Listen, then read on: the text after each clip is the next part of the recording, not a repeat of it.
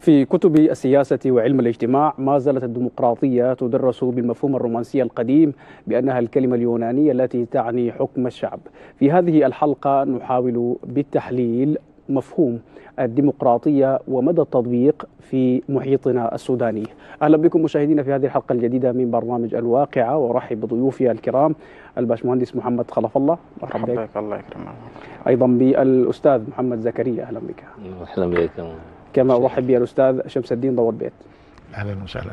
ويزداد الترحاب بالدكتور كمال محمد الأمين. مرحبا بك الله أبدأ بالباش مهندس بداية مفهوم الديمقراطية وفقا للمصطلح المعروف بأنه حكم الشعب أو حكم الأغلبية. كيف تنظر بداية إلى هذا المفهوم من وجهة نظرك؟ الحمد لله والصلاة والسلام على رسول الله. بعد شكر الله الشكر لجميع الأساتذة والدكاترة الحاضرين والشكر لقناة البلد على هذه الاستضافة. طبعا الديمقراطية زي ما عرفتها هي كلمة يونانية بمعنى ديموكراتيس من لفظتين بمعنى حكم الشعب حكم م. الشعب بالشعب م. والشعب نفسه يحكم في مجال التنفيذي وفي المجال التشريعي طبعا في المجال التنفيذي ما ممكن الشعب كله يجي يحكم. آه، في المجلس الوزاري في الرئاسة في إلى الآخر آه، فبيقصد بها المجال التشريعي يعني حكم الشعب بالنسبة للتشريعات الصادرة اللي بيتحاكم إليها آه، الشعب وتاريخيا الديمقراطية آه، أول ما بدأت بدأت في فترة ما قبل الميلاد في التاريخ الكلاسيكي في أثينا آه، كانوا بيتواجدوا بيجتمعوا في مجامع العلم يبتوا في آه، شؤون الحكم بتاعتهم وكذلك وجدت في الهند واستمرت آه، حتى دخلت أوروبا في ال- القرون الوسطى بعد ذاك انقطعت طبعا تماما وانتقل للنظام الملكي وإلى الآخر ودخلت بعد ذاك في مرحلة التنوير وتم استدعاء مرة أخرى الصورة القديمة اللي كانت موجودة في قبل الميلاد استدعاء الديمقراطية لكن بالديمقراطية غير المباشرة لأنه ما ممكن الناس كلها الشعب بكثرته وبالعددية بتاعته تجتمع آه، في آه، مجلس برلماني واحد فوجدت البرلمان الديمقراطية غير أو النيابية. مم. آه، ده كمفهوم آه، إجمالي. آه، طيب بالنسبة لموقفنا من الديمقراطية بوجهة نظرنا عشان ذاته نحدد إطار ال- الحوار يكون كيف وكده الديمقراطية زيها زي أي منتج آخر غربي. يعني سواء كان منتج فكري أو كان منتج صناعي أو منتج تقني أو منتج إداري. مم. بتعامل معها على ثلاثة مستويات. المستوى الأول المستوى الأيديولوجي. المستوى الأيديولوجي اللي هو حكم الشعب في المجال التشريعي. بمعنى إنه الشعب هو مصدر التشريعات وده عندي كمسلم بيتعارض تماما مع المبدأ بتاع التوحيد الإلهي بأنه الله تبارك وتعالى هو المشرع. ولا يخفى عليكم أن الله سبحانه وتعالى نهى عن التحاكم لغير حكمه ومن لم يحكم ما أنزل الله فأولئك هم الكافرون فأولئك هم الظالمون فأولئك هم الفاسقون. ثلاثة آيات في سورة المائدة. وأن يحكم بينهم بما أنزل الله واحذرهم أن يفتنوك ولا تتبع أهواهم واحذرهم أن يفتنوك عن بعض ما أنزل الله إليك. ومن أحسن من الله حكما لقوم يوقنون. إلى غير من الآيات الكثيرة. آه، كأمثلة على ذلك مثلا الشعب يجتمع على آه، إباحة الخمر. غالبية الشعب صوتوا على كده. معناته الخمر خلاص تبقى جائزة وإن كانت في الشريعة حرام. الحجاب الله شرعه. مثلا في البرلمان الفرنسي لا نحن ما دايرين مرة تكون متحجبة لأنه ده رمز من رموز الإرهاب. إذا هنا في إيجاب لما آه، يعني حرمه الله أو تحريم لما أوجبه الله أو أحله الله. فالنطاق ده نطاق يدخل في مجال الرفض في الديمقراطية بل هو في الشريعة الإسلامية بنص الآيات دي هو كفر. ده المستوى الأول. المستوى الثاني من ال- الديمقراطية اللي هو مستوى بالنسبة لنا مقبول. اللي هو القيم والمبادئ العامة اللي بيتم آه، الكلام حول خلف ستار الديمقراطية. يعني مثلا الكلام حول حفظ الحقوق حول محاربة المحسوبية حول مراقبة النظام الحاكم آه، حول صلاحيات ال- الحاكم. الأمور دي هي أمور في الشريعة الإسلامية مقبولة بل ليست في نطاق المستحب أو الجائز لا في نطاق شنو؟ الواجب في السياسة الشرعية. وده مستوى الثاني. المستوى الثالث في ال- الديمقراطية مستوى سكت عنه الشرع. لا أتكلم عنه بحل ولا أتكلم عنه بحرمة ولا بإيجاب ولا بغيره. اللي هو مستوى بتاع إنه الدورة الرئاسية تبقى أربع سنوات. المستوى بتاع إنه النظام الإداري للمؤسسة الفلانية يبقى ده كده ده كده ده كده. ده سكت عنه الشرع. مم. فده ينظر فيه أهل الاختصاص. ما رأوه مناسبا يقبلوا وما نعم. رأوه سنأتي منافيا إلى تفصيل. هذه ال- الجزئيات التي تحدثت عنها. اذا أستاذ شمس الدين آه، يتحدث الباشمهندس عن أن الديمقراطيه هي منتج غربي لديهم آه، تحفظات فيما يتعلق بالجانب الأيديولوجي في مسألة التشريع في الأساس وسرد الآيات من القرآن الكريم التي آه، تدلل على أن الحكم لله تعالى وليس الشعب. فإن اجتمع الشعب على خطأ هم يحاربون هذا الأمر. كيف تنظر إلى هذه ال- النظرية؟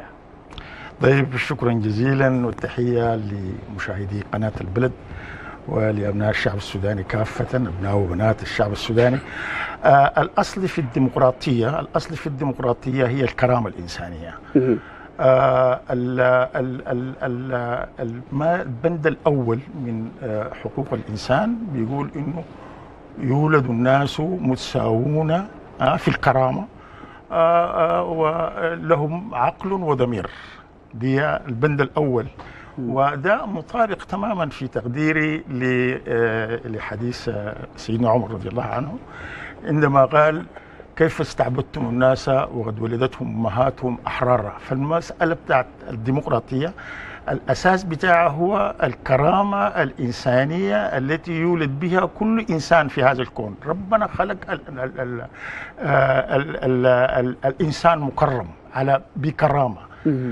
وهذا الموضوع بتاع الكرامة ده آه، بيقتضي آه، إنه لما تقول آه، يعني الإنسان ده لديه عقل لديه عقل ولديه ضمير كجزء من مكونات الكرامة فده يعني يقود مباشرة إلى قضية الحرية إنه هذا الإنسان لديه القدرة على الاختيار ما دام هو عنده عقل وما دام هو آه، له ضمير فعنده القدرة على الاختيار عنده القدرة على التمييز بين الظلم دون مرجعية يا أستاذ شمس الدين يعني دون مرجعية الإنسان لوحده يقرر فيما يراه مناسب ويرفضه أم تكون هناك أيديولوجية وقوى عليا تتحكم في في اختياراته؟ الإنسان يولد يولد وله عقل وضمير. هذه هي ده الأساس في الإنسان. يعني الإنسان يولد بعقل. هذا العقل آه، هو أداة بتاع التمييز. يعني نحن آه، كيف كيف عرفنا الله سبحانه وتعالى؟ عرفناه بالعقل. معرفة الله سبحانه وتعالى بالعقل يعني هو آه، اللي آه، من خلال العقل ده يستطيع الإنسان أن يميز الصح من الخطأ يميز الباطل من الحقيقة يميز الظلم من العدل. وبالتالي الديمقراطية هي حق هذا الإنسان في الاختيار. وحقه في المشاركة لأنه يت- لأن الله وهبه عقل ووهبه ضمير. و- و- وأوجده في هذه ال- في هذه ال- الأرض بكرامة. يعني هذه الكرامة متأصلة فده الأصل في الديمقراطية. ال- الحقيقة أنه ما حدث يعني حتى ال- ال- ال- المراحل الأولى من الإسلام كانت فيها هذه الحريات موجودة. يعني كانت فيها الحريات التعبير كانت فيها حريات المشاركة كانت فيها الشورى في البعثة المحمدية وفي فترة الخلافة الراشدة هي البذرة الأولى للديمقراطية. هي بذرة هي ديمقراطية. ولكن تطور الشورى هذه تطور الشورى الإسلامية قطع انقطع بتحول ال- تحول ال- الخلافة الخل- الخلافة إلى ملك عضوض والملك العضوض هو استبداد. هذا الاستبداد أوجد شكل مختلف من الإسلام أصلا يعني قطع التطور الطبيعي للإسلام لأنه أوجد مستبدين على المستوى الديني أوجد مستبدين على المستوى السياسي عدلوا في المفاهيم الأساسية للشورى. إذا كانت الشورى تركت للتطور بتاع الطبيعي كما بدأت وكما مارسها الخلفاء الراشدين آه، آه، آه، سيدنا أبو بكر وسيدنا عمر في الطريقة بتاعت الاختيار بتاعهم وفي الطريقة الشورى اللي تمت بها مثلا اختيار الخليفة عثمان. يعني لم يترك شخص لم يستشر حتى تمت تولية الخليفة عثمان نعم آه، سنأتي. لهذه التفاصيل وضحت هذه لكن نعم. المهم فيها. إنه هذه هذا المسار الطبيعي قد انقطع بالمسار الطبيعي للشورى قد انقطع بتحولها إلى ملك عضوض وبعد ذلك ما حدث بعد ذلك لا يمكن أن نسميه آه، آه، يعني إسلام بالمستوى اللي جاء به جاءت به البعثه المحمديه أو نعم. الخلافات الخلافه الراشده. نعم إذا أستاذ محمد آه، زكريا أستاذ شمس الدين تحدث عن أن الديمقراطية الأصل هي يعني فيها الكرامة الإنسانية يولد الإنسان بعقل ولديه حق الاختيار تحدث عن فكرة الشورى بداية الإسلام الأولى كانت فيها قدر من الشورى واختيار الحكام لكن قطع الطريق بعد فترة ال- ال- ال- الخلفاء الراشدين. كيف ترد على هذه النقاط ونقاط أخرى قمت بتدوينها؟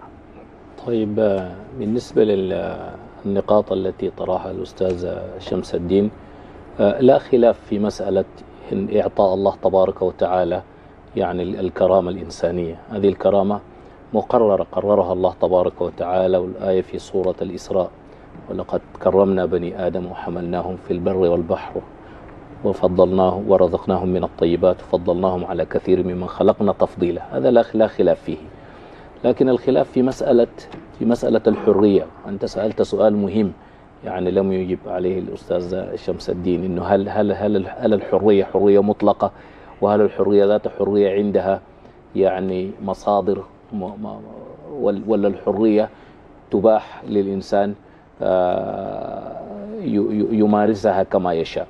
والأستاذ شمس الدين ذكر أن الإنسان لأن الله تبارك وتعالى يعني ميزه بعقل وضمير وهما أدوات التمييز ال- والاختيار بالنسبة للإنسان. وأنا أختلف مع أستاذ شمس الدين في أنه يعني فقط ال- ال- ال- ال- العقل والضمير هما يعني المصدر المصدرين للإنسان للاختيار ليس العقل فقط وليس الضمير وإنما الوحي والشرع كذلك. ولولا ذلك لما أرسل الله تبارك وتعالى رسل ولما أنزل الكتب. الله تبارك وتعالى قال رسلا مبشرين ومنذرين لئلا يكون للناس على الله حجة بعد الرسل. فإذا نطق الشرع مثلا بشيء لا يجوز لنا أن نخالف هذا الأمر بمعارضة ال- العقل خاصة إذا كان النص نص صريح ونص آه، ونص واضح.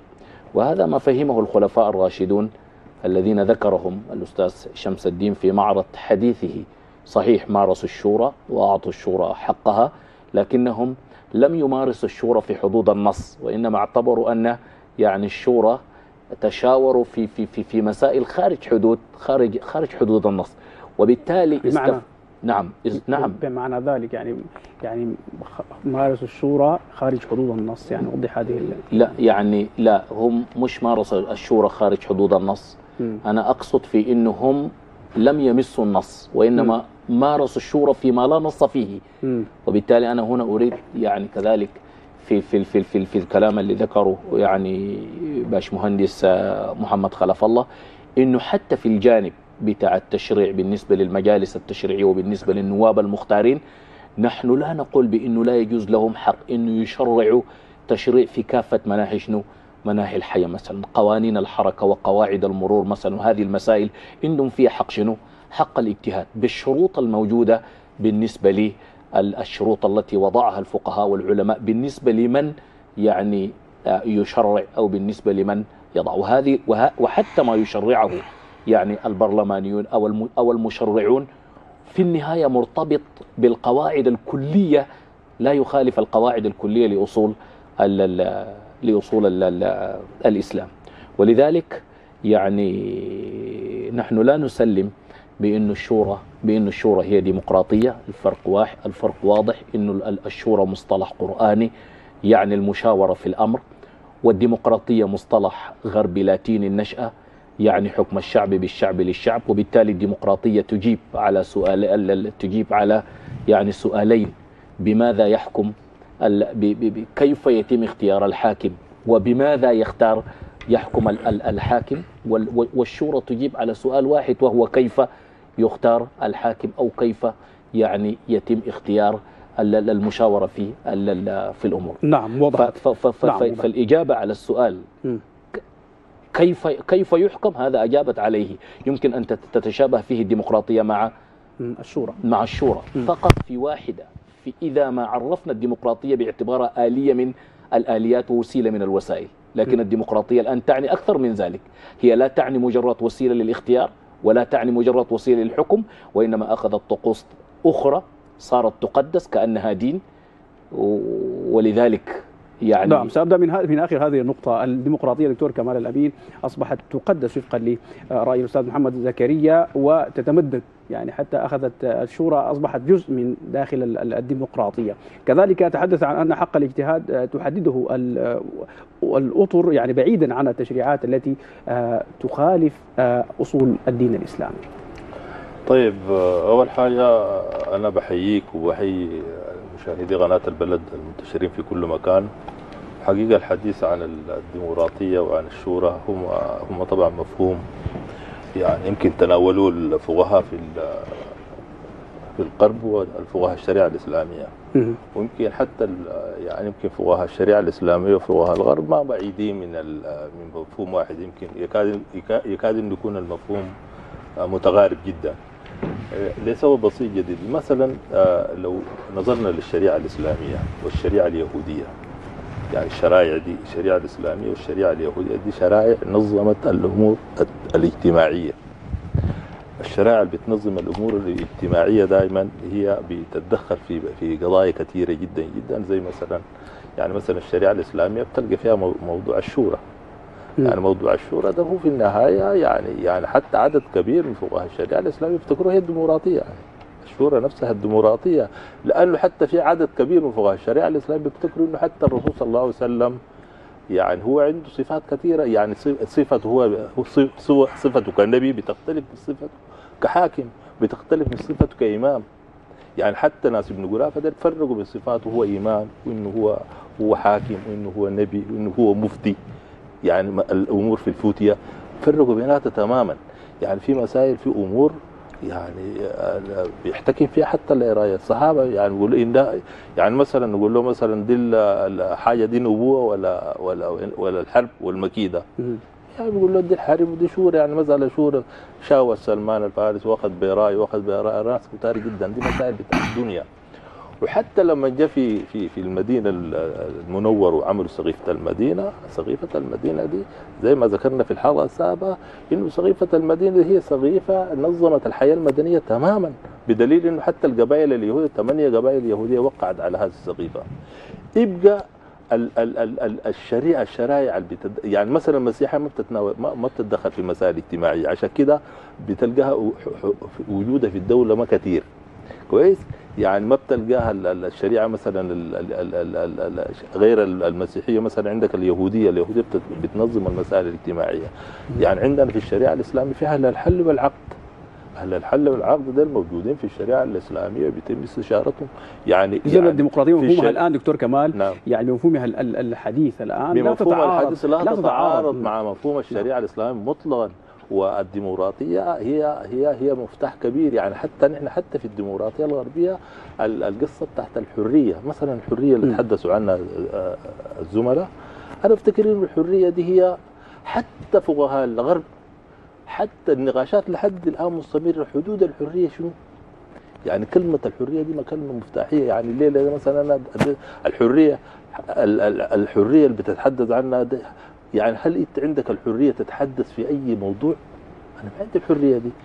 يعني حتى انت لو كنت مثلا في كيان في شركة عندك الحرية تعمل اي حاجة داخل الشركة دي لو كنت في حزب سياسي الحرية دي ذات عندها حدود. كويس؟ اللي هو ال ال ال الضابط بتاع الحرية في القوانين الغربية كلها اللي خدنا بقى خد بقى السودان ب 56 لحد الآن اللي هي مبدأ سيادة حكم القانون. إنه الدولة والأفراد والجمعيات الرسمية وغير الرسمية كلها تخضع لحكم القانون. م. حكم القانون ده اللي هو ده بينظم ده الميزان بتاع الدولة. ميزان الدولة انه الناس كلها بتقعد تتوافق على على على على قوانين محددة بيجيزها في المجلس التشريعي وبتمشي بها حتى بالمفهوم يعني حتى في يعني أنا أنا أنا أنا, أنا وجدت دراسات بتكلموا حتى المفهوم بتاع اللي هو العملية بتاعت التفويض دي اللي هو التمثيل عملية التمثيل البرلماني دي. هسه هم ذاتهم بس في نقاشات كثيرة في المجتمع الغربي بيفتكروها إنه حتى الآن هي القصة دي ذاتها بقت الآن محل. يعني بدل إنه الزول اللي بيتفوضوا ذاته بتمثل يجيبوا في البرلمان ده ذاته بقى يخضع لمساومات ويخش في قصص وذهب وقصص كثيرة جدا جدا. وذاته ممكن يمشي بعيد يعني يعني ال ال القصة بتاعت التمثيل ال ال أنا فوضتك في الدائره لكن في النهاية ممكن تخش لي في شبكة بتاعت علاقات واسعة جدا. الناس الآن ما في لكن لحد الآن المجتمعات الحديثة دي ما وجدت أي بديل غير المجالس التشريعية دي لحد الآن. لكن في كلام كثير جدا جدا في في برلمان بريطاني كاتب كتاب كامل عن الموضوع ده. بيفتكر إنه بيفتكر إنه القصة دي قصة يعني أصبحت الآن بقى الزول النائب البرلماني. ده ذاته بيخضع لمساومات كثيرة جدا. نعم. وضحت. اذا ده, ده إشكال برضو واحد من الاشكاليات نعم، الديمقراطية. كما ذكر الدكتور الديمقراطية لا تتعارض بشكلها مع الشريعة الإسلامية وسرد آه، قصص ورأي بعض الفقهاء الذين لم يسمهم. كيف ترى؟ آه، أنا بختلف مع ال- الأساتذة والدكاترة الفضلاء آه، في ال- المرادفة بين الديمقراطية والشورى. ال- في اختلاف كبير جدا بين الديمقراطية والشورى. أنا بسرد سريعا في الآتي. أول حاجة من حيث المرجعية المرجعية في الشورى هي المرجعية بتاعت الحاكمية لله تبارك وتعالى. يعني أنت ذاتك ما مشيت للشورى إلا لأنه في نص قرآني قال لك وأمرهم شورى بينهم وإلا أنه الله قال للنبي صلى الله عليه وسلم وشاورهم في الأمر.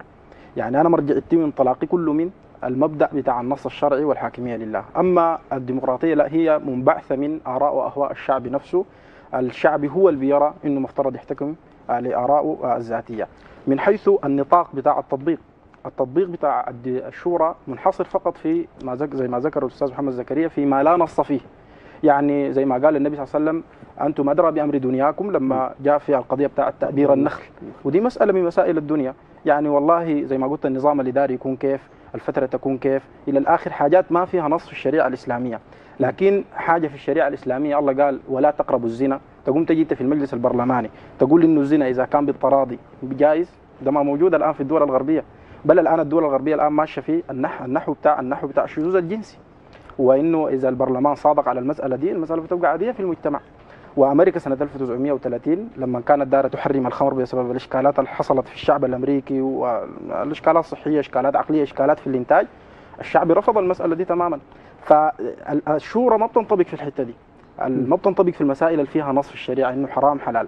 ال- الديمقراطية مفتوحة على أي حتة وده خلاف جوهري جدا بيناتهم.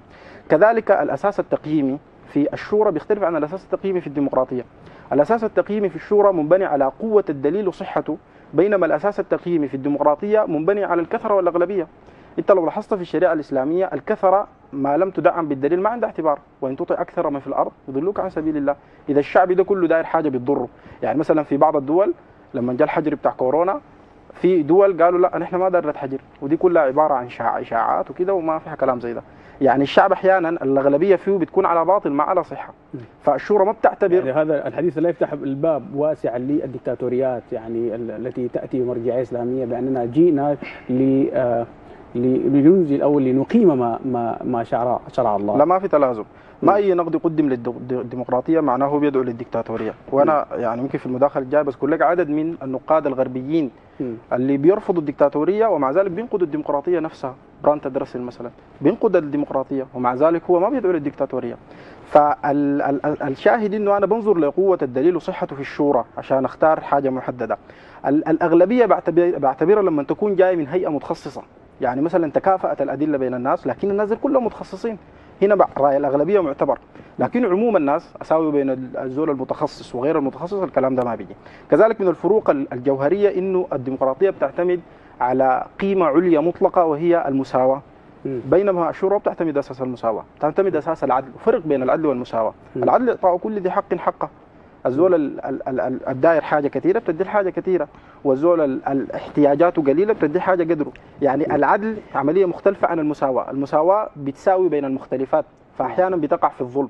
فلذلك بتجي إشكاليات النسوية وإشكالات ال- ال- المتعددة اللي بتحصل فيها فصام بين الإسلام والديمقراطيه كذلك من حيث التحقق التاريخي الشورى أنا عندي تجربة حصل فيها شورى زي ما تفضل الأستاذ شمس الدين. تجربة الخلفاء الراشدين تجربة حققت فيها الشورى. تم فيها الانتقال بتداول سلمي للسلطة من خليفة إلى الآخر عن طريق آه، نظام محدد. آه، كان في شورى موجودة. كان أبو بكر الصديق رضي الله عنه لما عين قال إني قد وليت عليكم ولست بخيركم فإن رأيتموني على خير فاعينوني وإن رأيتموني على باطل فسددوني. عمر بن الخطاب اعترض عليه امرأة فقال أخطأ عمر وأصابت امرأة. وإلى الآخر بتلقى كان موجود الشورى دي. لكن الديمقراطية زي ما بقول البروف جعفر شيخ إدريس ربنا يطلب الخير اسم لا حقيقة له. يعني منذ أثينا إلى اليوم الديمقراطية ما عندها تجربة حقيقية بتتوافق مع الأساس النظري بتاعها. إنه فعليا الشعب قاعد يمارس حقيقته في الاختيار وحقيقته في الرقابه وإلى الآخر وإنما هو آه، زي ما بقول الماركسيين إنما هي عبارة عن تسلط بتاع أقلية على أكثرية الشعب. ويتصور الشعب إنه هو الآن حاكم بمشاركته فقط بالانتخابات. والأمر بي- بياخذوه قلة هي القلة النافذة. يمكن كما قال الدكتور آه، كمال التحكم فيهم عن طريق المال. لذلك الآن يعني من أشهر الكتب اللي ألفت آه، أفضل ديمقراطية يمكن شرائها بالمال. كتاب حقق أعلى مبيعات في آه، صحيفة نيويورك تايمز. وده الآن حاصل لأنه في أمريكا. يمكن آخر انتخابات هيلاري كلينتون ودونالد ترامب. حصل ما حصل. من آه، في النهاية عندك أموال عندك آلة إعلامية بتقدر تتحكم في رأي الناس وفي أغلبية الناس وده النقد اللي وجهه ارسطو طاليس للديمقراطية. إنه الآن قال لو في سفينة أو مركب الآن موجود وفي زول قبطان ماهر جدا بيقدر يطلع المركب ده من الغرق وفي واحد تاني ما ماهر لكن خطابيا زول خط... ما في زول بيقدر يجي جنبه. ده ده حصل في التاريخ زي هتلر زي جمال عبد الناصر زي كده معمر القذافي إلى الآخر. زول خطابيا بارع لكن يعني تقنيا كده منتهي. فقال الناس لو ادينا الأغلبية الأغلبية حتمشي مع الزول الخطابيا ده ماهر وحيغرق السفينة في النهاية. نعم. باشمهندس حارجع لك ثاني اذا آه، أستاذ شمس الدين ضوء البيت آه، أبدأ من حيث انتهى. باشمهندس آه، محمد خلاف الله الديمقراطية اسم لا حقيقة له. وكذلك هل يمكن تطبيق هذه الديمقراطية بعلاتها التي تحدث عنها الدكتور وغيره في مجتمعات مسلمة أساسها الدين الإسلامي آه، الآن إذا تمت إجازة آه، آه، قضايا تتعلق بالزنا كما ذكر الباشمهندس يصبح امرا واقعا وتنزل في القوانين وتلغى القوانين التي تحارب هذا الفعل. آه طيب شكرا. أنا أنا بفتك أنا حأبدأ من تعليقك أنت يعني اللي تحدثت فيه عن إنه ألا يفتح هذا الحديث آه، ألا يفتح هذا ما تقوله آه، ما يقاله ال- الباشمهندس محمد خلف الله ألا يفتح هذا ال- الحديث الباب للدكتاتوريات؟ هذا كان تعليقك. آه، أنا أعتقد إنه الإجابة على السؤال والسؤال أيضا طرحته أنت. إنه إحنا لا نحتاج لمثل هذا السؤال يعني لأنه الحديث الذي يتحدث به الأستاذ باشمهندس محمد خلف الله كان هو المنطلق بتاع حكم الحركة الإسلامية والإنقاذ عندما جاء السنة 89 ده كل هذا الكلام يعني كل هذا الحديث بتفاصيله كان هو البرنامج برنامج الحكم الذي جاءت به الحركة الإسلامية. الشريعة الإسلامية آه، ال- ال- ال- العدل وليس المساواة آه، المرجعية مرجعية هي مرجعية النص القرآني لا آه، لا لا اجتهاد مع النص. كل هذا الكلام كان هو مبنى وما جاءت به وثائق الحركة الإسلامية عندما جاءت إلى السلطة سنة 89 وترجمت كل هذا الكلام بتفاصيل دقيقة لأنه عضوية الحركة الإسلامية وقياداتها كانت قيادات مؤهلة جدا. فترجمت كل هذا الكلام بالتفاصيل التي تحدث عنها الباش مهندس محمد خلف الله إلى قوانين. لدينا قانون الأحوال الشخصية لدينا قانون الجنائي لدينا قانون آه، المصارف لدينا كل هذه القوانين وإلى دستور أيضا. دستور سنة 98 فماذا كانت النتيجة؟ ماذا كانت النتيجة؟ النتيجة نعلمها يعني ليس نظريا وإنما بصورة عملية إنه ديكتاتورية غير مسبوقة في تاريخ السودان وتاريخ المنطقة ظلم غير مسبوق في تاريخ السودان وتاريخ المنطقة آه قهر للنساء قهر لغير المسلمين انتهى بفصل جنوب السودان آه يعني تدمير للنسيج الاجتماعي السوداني بحيث أشعل حرب في جنوب السودان بالإضافة إلى الحرب التي كانت قائمة في جنوب السودان أشعل حرب في شرق السودان أشعل حرب في دارفور أشعل حرب في جنوب كردفان. ده كان هو النتائج ال- ال- العملية للحديث الذي تحدث به الباشمهندس آه، آه، محمد خلف الله اللي هو تطبيق الشريعة. أنا يعني يجب أن آه، أفرق هنا يعني ابتداء. أنه ما يسمى بالشريعة الإسلامية ليست هي ال- الانعكاس لما جاء في البعثة المحمدية ولا في القرآن الكريم ولا في فترة الخلافة الراشدة. هذا الحديث أنا يعني بديت إنه قلت حصل انقطاع في هذه المسألة. وما يعرف ما يسمى الشريعة الآن هو نتاج ل آه، آه، آه، ربما 500 500 سنة من الاستبداد الديني والسياسي اللي صودرت فيه كل الحريات يعني الحريات بتاعت آه، آه، أخطأ عمر. وأصابت امرأة. لم يكن متاحا اطلاقا بدءا من تولي معاوية بن سفيان الخلافة. بدءا من هذا الوقت. لم تعد هناك أي حريات في التعبير لم تكن هناك أي حريات في البحث لم تعد هناك أي حريات في العلم. كل العلماء الكبار الذين طرحوا آه، قضايا لا- الفكر والإسلام تفصيلا آه، فأنا عايز نعم. أفرق بين دي وبين دي بين هذه بين ما, حدث بعد ذلك ليؤكد أنه لا علاقة له بالمبادئ الكلية اللي تحدث عنها نعم. آه محمد زكريا نعم. الأستاذ أستاذ إذا محمد زكريا لأنه هي- المبادئ العامة هي هي, زكريا. الكرامة وهي المساواة وهي العدالة وهي هذه هي المبادئ العامة الشريعة نعم، نعم. اللي اللي. التي طبقت في الفترة نعم. الماضية إذ- لا أستاذ لها زكريا. الشريعة الإسلامية ليست انعكاسا لما جاء به النبي الكريم محمد صلى الله عليه وسلم وتجربة الإنقاذ كانت خير دليل على التطبيق باسم الدين والدكتاتوريات وقهر الرجال والنساء. كيف دي ترد؟ دي دي دي, دي واحدة للأسف الشديد من مغالطات ال- ال- الإخوة لما يتكلموا في في المسألة أو دعاة الديمقراطية. وإن شئت قل- قلت كذلك يعني دعاة العلمانية. أنا طبعا لا أتهم الآن إنه لأنه ما مو- الموضوع المطروح ما موضوع العلمانية هو موضوع الديمقراطية.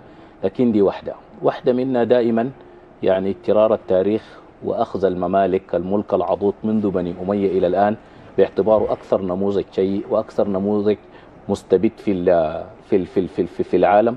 ومع أن الديمقراطية الآن حديثة يعني ممكن تؤرخ لها تاريخيا بعد الثورة الفرنسية وبعد ذاك صنعت الديمقراطيات إلى يومنا هذا ما بيقاس لما يتكلم في في في في الملك العضوض في في بتاع التاريخ الإسلامي ما بيقاس معه في نفس الوقت العالم الآخر الموجود. الشعوب الهندية الشعوب الصينية الشعوب ال ال ال ال في, في الكورية الغير الصينية الغير والحاجات اللي كانت. يعني كأنما التركيز إنه الدنيا دي كانت مظلمة في هذا شنو؟ في هذا الجانب مع إنه العكس صحيح. الناس اللي اللي كتبوا وتكلموا في التاريخ الإسلامي والفتوحات الإسلامية وغيره زي جوستاف لو- لوبون مثلا في حضارة العرب وكده تكلموا كلام يعني مختلف تماما. حتى حتى أنا أنا برى إنه يعني يفترض من العدالة إنه لما نذكر يعني صحيح وما في حكم مبرأ لأنه أي حكم بعد النبي صلى الله عليه وسلم وبعد الخلفاء الراشدين المهديين هو حكم في النهاية خاضع لتجربة شنو؟ بشرية يمكن تصحح ويمكن شنو؟ ويمكن تخطأ و- و- دي, دي, دي من ناحية. فأنت بتجي بتلقى إنه اللوم يرمى على هذا التاريخ وكأنما لا يوجد شنو؟ تاريخ موازي شنو؟ تاريخ يعني منتهك لحقوق الإنسان وهكذا يتلفظ بهذه العبارات. وأنا أع- أعتقد إنه هذا المفهوم يفترض إنه يصحح. الأمر الثاني يعني ال ال ال ال نسبة نسبة أي إخفاق بشري في حكم يعني منتسب إلى الشريعة الإسلامية طوال يرمى هذا الحكم باعتباره شنو؟ باعتباره كأنما النقص في الشريعة شنو؟ الإسلامية أو في آلية ووسيلة مصدر شنو؟ مصدر الحكم. وده فيه يعني حقيقة نوع برضو من المغالطات وعدم عدل مع ال ال ال ال الإسلام وفتراته الحكمة. مثلا إذا أخذت ال الآن التشريد باسم ال- ال- التشريد وغيره جاءت جاءت حكومات باسم الاشتراكية ها؟ ودمرت وقتلت وسفكت. لكن لا يقال أن الاشتراكية شنو؟ أن الاشتراكية هي هي الفاشلة. يقال ستالين هو الفاشل ستالين هو الدكتاتوري ستالين هو كذا. لا يقال لا يقال ال- ال- ال- الشيوعية أو الاشتراكية. صدام حسين وحافظ وحافظ الأسد وبشار الأسد. انتهكوا عدة يعني آه، جرائم ارتكبوها. الآن أستاذ شمس الدين لما نتكلم قال ديكتاتورية غير مسبوقة لا في السودان ولا في المنطقة. إذا إذا قال المنطقة ف ف ف ف ف ف ف هذه ال- السودان السودان السودان في المنطقة عنده بعدين عنده بعد أفريقي وعنده بعد عربي. كدولة أفريقية وبعد عربي. اصله لا يمكن أستاذ شمس الدين نوافقه في إنه في البعدين العربي والأفريقي ما حصل انتهاك كما كما حدث. رواندا حدثت فيها مجزرة يعني معروفة في في في في, في سف سفك سفك دماء. معروف يعني ال ال ال ال ال ال ما حدث في في في في, سوريا وفي العراق. الآن يحدث في في في, في هذا سوريا. يبرر للانقاذ مثلا؟ لا أنا لا أقول مبرر على الإطلاق. أنا فقط أقول في إنه يعني عبارة إنه دكتاتوريه غير مسبوقة لا. سبقت وموجودة. وأنا وأنا أقول كذلك إنه يعني ما لا لا يتم تبرئة الفكر البعثي مثلا ها مقابل يعني إدانة شنو؟ مقابل إدانة فكر آخر. يفترض إنه نحن ندين كل شنو؟ كل هذه الأفكار. دي من ناحية ب- ب- ب- ب- ب- ب- بصورة عامة. لكن نقول إنه التاريخ الإسلامي شهد فترات معروفة وذكر إنه فقط فترة الخلفاء الراشدين. فترة م- فترة الدولة الأموية نفسها. شهدت فترة خلافة راشدة شهد عليها جميع الناس وهي فترة الخليفة عمر بن عبد العزيز. لكن لديه. موقف واضح من حكم يعني معاوية بن أبي سفيان. لا هو هو هو هو هو هو في عهدي في عهد عبد الملك وعبد الملك كان يعني أمير من أمراء الدولة خليفة من خلفاء الدولة ال ال ال الأموية. ال- الأموية. ويحسب لعبد الملك نفسه إنه هو الذي عين يعني عمر آه عمر بن عبد عمر بن عبد العزيز إلى أن صار يعني ال- ال- الملك له. فقط نحن نريد أن نقول إنه الآن الديمقراطية هل الديمقراطية الغربية الآن مبرأة من حيث يعني ال- التسويق الآن كأنما الديمقراطية هي هي الحرية؟ والآن كتاب غربيين يقولوا إن الديمقراطية التي تتكلم عن الحرية لم تعطي أهل الغرب حريتهم إلا إذا كان إلا إذا كانت الحرية الآن فقط في في في في في في في, في إنك أنت تلبس ما تشاء وتفعل ما تشاء وتأكل ما تشاء وتشرب ما تشاء أو الفوضى التي نراها الآن. وهذه ليست حرية. وكذلك يعني تصور الديمقراطية وكأنما هي ضد الفساد وضد الاستبداد والفساد والاستبداد موجود الآن. وتصور الديمقراطية بأنها هي منشأ الرفاه وهكذا. وبالتالي قيلت مقولات يعني مثلا مارغريت تاتشر قالت إنه الدول الديمو الدول الديمقراطية لا تحارب بعضها. رأينا الدول الديمقراطية تحارب بعضها. وقال إنه السلاح ال- الديمقراطية لا توجه سلاح- سلاحها في في في في بعضها. والآن الآن الآن الآن بوتين يمارس يمارس تقتيل وحرب باسم الديمقراطية الآن. والآن ال- الاستفتاء الذي مورس في في في الولايات الآن استفتاء بغطاء كذلك باسم الديمقراطية. فلماذا تصوغ الديمقراطية كأنه شنو؟ كأنه شيء كده مسلم لا غبار عليه ولا وبالتالي المقولة بتاعت لا بديل للديمقراطية إلا الديمقراطية. أنا أقول أهل الغرب نفسهم الآن ال- ال- ال- الكتاب المفكرين الاجتماعيين الآن يبحثون كما ذكر دكتور الدكتور كمال ذكر في إنه الآن واحدة من اشكاليات الديمقراطية إنه هل الممثلين ديل هم ممثلين حقيقيين وإنه هل صحيح بيحملوا كل وعودهم التي قالوها ويرفعونها هناك لتعود نفعا إلى ال إلى ال إلى إلى إلى, إلى, نعم. إلى, الشعب نعم وضح لا. الاستاذ محمد زكريا اذا دكتور يعني هناك يعني سرد لدول ديمقراطية مارست أو تحت مسمى الديمقراطية مارست- مارست ديكتاتوريات وترفع شعارات لا تطبق على أرض ال ال الواقع كيف تنظر إلى هذا الأمر ونحن في السودان الآن هناك أحزاب تنادي بالديمقراطية تنادي بالحرية لكنها على أرض الواقع لا لا تمارس شيئا. طيب حقيقة أنا أنا بس حقصر كلامي على السودان. طبعا ال- ال- ال- ال- ال- ال- الممارسة الديمقراطية هي طبعا آه، يعني هي قطع شك هي أفضل من الدكتاتورية بأي حال من الأحوال لا يمكن تغا- تقارن وضع ديمقراطي بوضع دكتاتوري. في الوضع الديمقراطي دائما الأمور كثيرة حت- حدثت في في فترات الديمقراطية. أنا بفتكر هي هي يعني وجدت آه، يعني حظها ل- ل- ل- لأنها يعني تعمل آثار إيجابية في المجتمع السوداني. يعني يعني مثلا آه، بعد خب بعد 56 السودان طبعا طبعا مر بمراحل كثيرة. وأنا بفتكر إنه المراحل اللي مر بها السودان دي هي مراحل بتاعت انتقال. يعني العملية العملية بتاعت المشاركة في السلطة العامة اللي هي تمت للمرأة في السودان. يعني المرأة يعني بعد 65 في البرلمان المشاركة السياسية تمت آه، مشاركة المرأة السيا- المرأة مثلا في القضاء في السلك القضائي أنا بفتكر المجتمع السوداني من 56 لحد الآن ما هو ما واقف في في مكانه المجتمع السوداني مجتمع متطور حتى الأفكار بتاعت الناس اتطورت يعني. حتى نظرة الناس للأحزاب السياسية اختلفت حتى نظرة الشباب للأمور العامة الآن اختلفت. الآن لا يستطيع الآن الوضع الماشي في السودان ده هو ده وضع متطور من 56 صحيح إنه إحنا مرينا بديكتاتوريات وحاولت يعني إنها هي تخلق آه، تستغل الدين. يعني الدين ده ذاته ما تم استغلاله في في في في في فترة من الفترات تم استغلاله حتى في فترة نميري نفسه. يعني نميري بعد المصالحة سنة 77 المصالحه بتاع 77 تم تعديل قانون الاجراءات الجنائيه دخلوا النائب ال- سبتمبر. آه، قوانين سبتمبر والمسائل زي دي.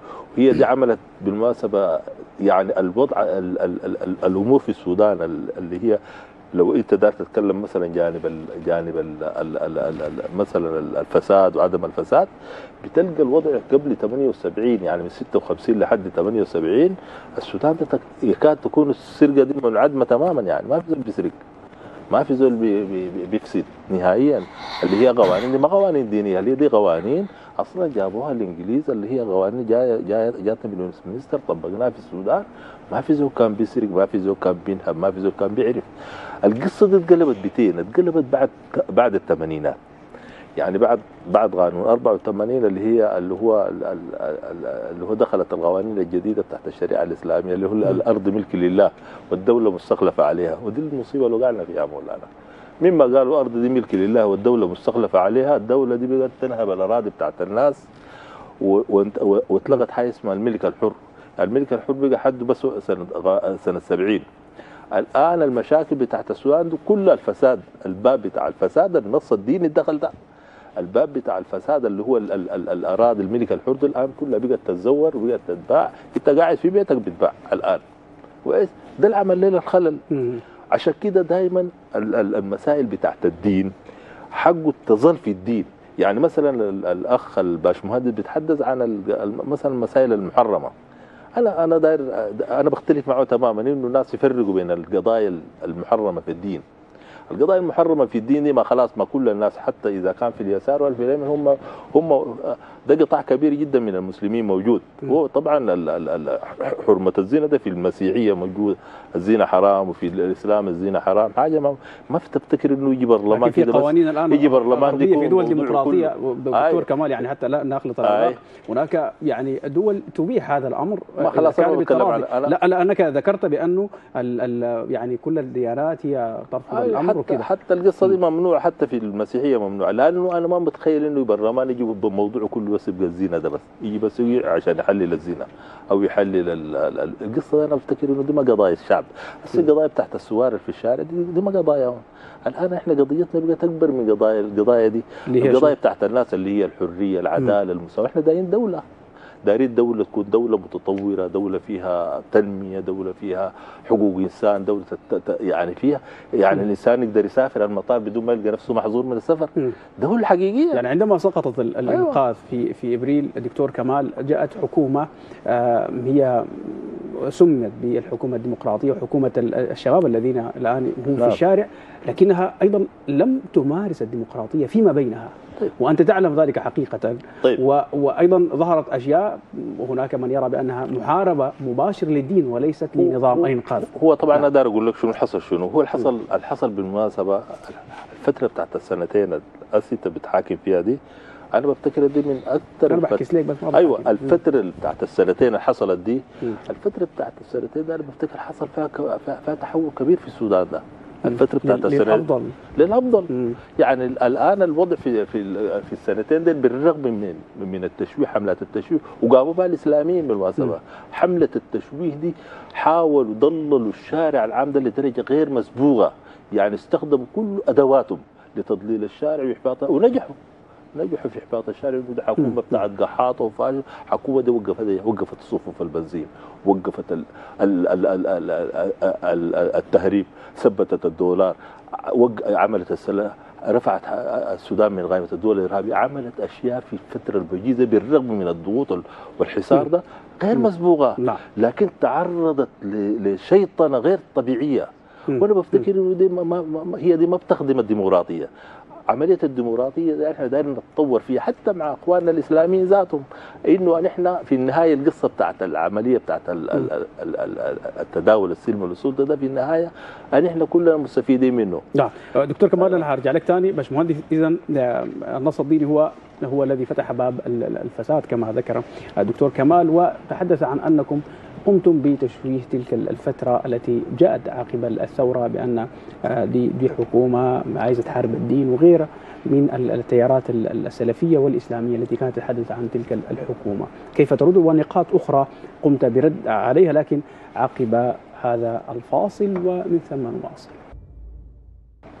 أهلا بكم من جديد وأرحب بالذين انضموا لمتابعة هذه الحلقة من الواقعه. إذا باشمهندس احلت إليك بعض النقاط التي قام بذكرها الدكتور محمد الدكتور كمال الأمين بأن النص الديني هو الذي فتح باب الفساد، تطبيق ال- القوانين قوانين سبتمبر وغيرها كانت هي المدخل الرئيس لباب للفساد والإجرام والدكتاتوريات، تحدث عن فترة آه، بأن قوانين إنجليزية كانت حاضرة آه، وقفت السرقة، كان هناك عيش كريم والذين يدعون إلى تطبيق الشريعة الإسلامية ضللوا ال- ال- الشعب في فترة الحكومة حكومة ما عقب ثورة ما بعد ثورة ديسمبر، كيف ترى؟ آه، أنا بس عندي سؤال محوري علاقة م. الدين أو النص الديني بسرقة الإنقاذ أو سرقة الحركة الإسلامية للشعب السوداني شنو؟ أنا عندي كنص ديني كشريعة إسلامية بتقول وأيم الله لو سرقت فاطمة بنت محمد لقطعت يدها وقال إنما أهلك من كان قبلكم أنهم كانوا إذا سرق فيهم الشريف تركوه وإذا سرق فيهم الضعيف قطعوا يده أو أقاموا عليه الحد. فكيف بننسب الإشكالات دي لنفس النص الديني؟ الشيء الواقعي والصحيح آه، زي ما ذكر الأمثلة الأستاذ محمد زكريا إنه النسبة لا تكون للفاعل ده نفسه. والفاعل ده نفسه أنا بحاكمه ذاته بالنصوص الشرعية. إنه يا أخي التغول على المال المال العام الإشكالات اللي حصلت دي كلها مرفوضة تماما. بالنسبة للظلم بالنسبة إلى الآخر دي حاجات موجودة من قبل أصلا وجود الإنقاذ. من 56 يعني أحمد عبود هل جاب ال- ال- ال- بالبود. بتاعه إبراهيم عبود هل جاب بشريعة إسلامية؟ الصادق المهدي هل جاب شريعة إسلامية؟ ما دول كلهم دعوا لديمقراطية ومارسوا الإشكالات اللي حصلت في حكمهم دي سواء كانت من الظلم سواء كان من كل الإشكالات الواردة في تجاربهم برضو عن طريق آه، الديمقراطية. آه، نيميري برضو أول ما جاء جاب قوانين حمراء شيوعية. فليه النظر الغريب ده لأنه بس الحاجات دي كلها بسبب الشريعة الإسلامية. ابدا ما في علاقة. لو جيت حكمنا بنفس القاعدة دي وحاولنا نمددها للنظام الديمقراطي الإشكال ده بقى عليكم بصورة أكبر. يعني مثلا ليله لو جينا نحاكمك أنت قلت مثلا إن إحنا والله ال- الشريعة الإسلامية دي طبقناها وما نفعت. طيب الديمقراطية دي نفسها الآن أكبر دولة داعيه للديمقراطيه هي الولايات المتحدة الأمريكية. والديمقراطية ميلاد ذاته كان في فرنسا عقب الثورة الفرنسية بعد ذاك بعد ما حكم نابليون بونابرت. أول شيء عملوا بعد 11 سنة فقط بعد الثورة الفرنسية إنه مشى غزا مصر هل ده فعل ديمقراطي؟ المارسته فرنسا في الجزائر وفي تونس والمارسته آه، إيطاليا في الحبشة وفي ليبيا وفي المغرب وغيرها من الدول الأفريقية اللي كانت مستعمرات للدول الديمقراطية دي على مدى 500 سنة. وسرقوا نهبه ليوم الليلة دي. هل دي كلها دي تحسب على الديمقراطية ولا ما تحسب؟ دي ما دول ديمقراطية. الحرب العالمية الأولى والحرب العالمية الثانية الماتوا فيها أكثر من 100 مليون نسمة. هل دي كانت بسبب الدين؟ ما بسبب الدول الديمقراطية اللي بتدعو للديمقراطية دي. أمريكا الفساد اللي عملته في العراق والغزو اللي عملته في أفغانستان والغزو اللي عملته لكوبا والغزو اللي عملته لفيتنام. والسجن بتاع غوانتنامو القاعد الآن في أمريكا وبيتم فيه اعتقال ناس بريئين تماما. في ناس ما عندهم علاقة زي سامي الحاج الصحفي السوداني الشهير اعتقل سبع سنوات فايز الكندري الكويتي اعتقل 14 سنة. وبيمارس فيه أشنع أنواع التعذيب يعني حتى منظمة العفو الدولية قالت إنه سجن غوانتنامو يعتبر سبة في آه، في في وجه ال- ال- الحرية المعاصرة. ده كله ما بيمارس باسم الديمقراطية. طيب ليه ما نجي نشيل نفس القاعدة ونطبقها على الديمقراطية ونقول الديمقراطية هي برضه بتجلب الفساد وبتجلب الظلم؟ حتقول لي لا ده الناس خالفوا قوانين الديمقراطية. ده الناس خالفوا قوانين وقواعد الشريعة الإسلامية. في فعل معين هنا غلطوا. وبالمناسبة أنا الطرح اللي طرحته ده مضاد تماما لطرح الحركة الإسلامية.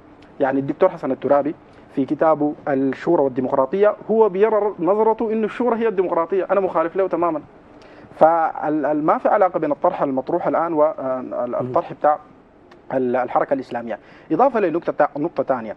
إنه ال- الديمقراطية العالمية الآن لو جينا نحاسبها بقواعدها الآن وجود الكيان الصهيوني هل له مبرر ديمقراطي؟ دولة تستعمر دولة أخرى وقاعدة فيها وليوم الليلة مصدق لها من قبل أكبر دولة ديمقراطية الولايات المتحدة من قبل مجلس الأمن وكل الناس معترفين بها. بل الآن حملات بتاعت شنو؟ تطبيع وتماشي معاه وانت لو دار علاقاتك تمشي تخلي علاقاتك طيبة مع إسرائيل وإلى الآخر. علاقة ده بالديمقراطيه شنو؟ اللي بيدعو لها الدول الديمقراطية. فلو جينا نحاكم حقيقة العبارة دي بنلقى إنه الديمقراطية هي التي تم التجارة بها أكثر من التجارة بالدين نفسه. وده ما معناه أنا ببيح التجاره بالدين. لكن بقول إنه الديمقراطية مورس فيها حاجات أسوأ من المورست باسم الدين. وحتى الآن مثلا لو جينا كمثال جنوب السودان انه الإشكال في جنوب السودان كان قبل القوانين بتاعت الشريعة الإسلامية السنة جعفر نميري يعني القبيلة بتاعت توريت لما آه يعني تم التمرد من جون جرن الكلام ده كان قبل أصلا نميري يشرع قوانين الشريعة الإسلامية. يعني الموضوع ما كان متعلق بالشريعة ولا ما شريعة. الموضوع كان متعلق مشكلة الجنوب مشكلة قديمة زرعها المستعمر دي ابتداء عمل خلل في موازين التنمية بين الشمال والجنوب. الإشكال الثاني إشكال بتاع الشعور وبالدونيه وبالبعد والظلم وإلى الآخر. لكن ما عنده علاقة بشريعة وما شريعة وإن تم رفع الشعار ده. الدليل على كده إنه حتى بعد انفصال الجنوب ما زالت الحرب مستمرة في جنوب السودان. لحد 2017 2018 الحرب كانت مدورة. فاذا الموضوع ما عنده علاقة بشريعة. هذا اللي بيقول خلاص ديمقراطية وما ديمقراطية. وبرضه الإشكال موجود لسه. فربط الحاجات دي بالدين آه ما شايفه شيء يعني مبرر اطلاقا. نعم وضعت آه يعني أستاذ شمس الدين آه يعني الآن هناك نماذج ذكر الباشمهندس بأن الدول الغربية التي تدعو للديمقراطيه لديها تاريخ كبير في الممارسات الدكتاتوريه من القتل والتشريد ونهب الشعوب وغيرها، كيف يمكن تطبيق هذا النموذج وطرحه الآن في مجتمع مجتمع السوداني حاليا؟ برغم أن هناك حكام جاءوا باسم الديمقراطية ومارسوا دكتاتوريات. آه شكرا طيب أنا يعني كنت برضو آه الرأي الدكتور كمال في إنه آه يعني نظل في السودان لأنه أنا لا أمثل هنا لا أمثل الديمقراطية الأمريكية ولا أمثل ولا أدافع عنها ولا أدافع ولا أدافع ولا أدافع عن ممارسات بريطانيا سواء كانت ديمقراطية أو غير ديمقراطية ولا غيرها من الدول. يعني لكنك رجعت في البداية للخلفاء الراشدين. يعني أنا لا ده ما هو ده الخلفاء الراشدين ديل ما نحن ديل ما ده, ده المسألة التي ده أنا يعني دي هذه هي جذوري. هذه هي خلفيتي هذه هي مرجعيتي. أنا هنا ومرجعية ومرجعية السودانيين ومرجعية مرجعيه السودانيين نعم. فإحنا قاعدين نتكلم يعني نعم. في هذا المجال فإذا كان أخذنا الفترات حتى على قصرها يعني فترات قصيرة جدا الفترة من 53 لغاية 56 الفترة من 64 لغاية 69 الفترة من 85 لغاية 89 والسنتين اللي تحدث عنهم كمان في كل هذه الفترات بنتجد إنه تميزت بانتهاكات محدودة جدا لحقوق الإنسان ده الأساس الاساس إنه في الديمقراطية هي حفاظها على كرامة الإنسان. وتمت يعني مورست بهذه الطريقة في السودان. يعني انتهاكات الفترات دي كلها لا توازي يعني لا لا لا توجد مقارنة بين وبين الانتهاكات الضخمة جدا والكبيرة جدا والهائلة جدا والمؤسفة جدا والغير مسبوقة. أنا مصر على انه غير مسبوقة لأنه برضه في تاريخ السودان لم تحصل مثل هذه الانتهاكات. فإذا كان مسكت هذه الفترات فتجد إنه الإنسان مكرم. السنتين الفاتن دي إحنا كناس موجودين في المجتمع المدني المدني تمتعنا بحريات؟ يعني ما عرفناها إلا في في فترة الديمقراطية الثالثة. يعني اللي هي عشناها نحن واعين. بس لكن في السنتين دي صدرت الصحف آآ آآ كان الحق في الاحتجاج.